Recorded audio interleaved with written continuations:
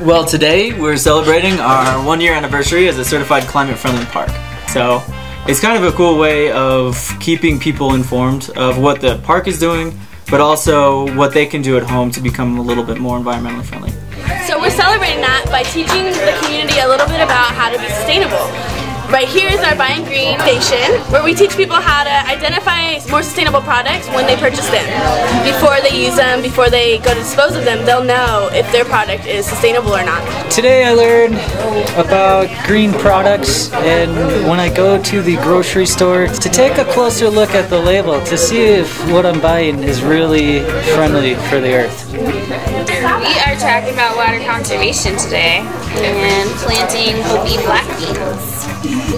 They are drought resistant and they're native plants and so they take less water to grow and we're planting them in um, newspaper pots that biodegrade and well, sustainability would have been a, an everyday Yeah, part of yeah. life. I mean, because you're using, in order to survive, you're using everything around you. and you have to conserve your resources because it's not like you know today we can go out say to the store or we can ship something in if you use up your local resources Interpretation and Visitor Services is here doing a recycling event and doing a toss game, and it's really great.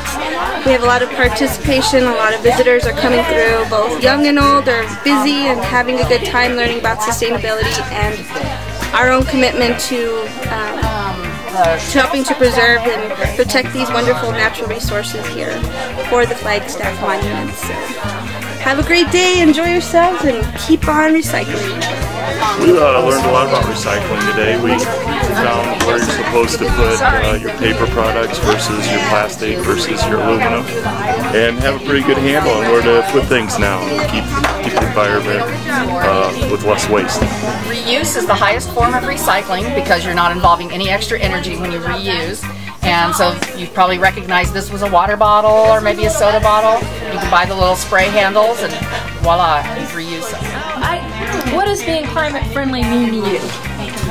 Well, I didn't really know today till I came to this little seminar, but I think even the climate in our homes seems to be what this little table's all about. And so, if you control the climate in your home, it saves you money and it's good for the earth.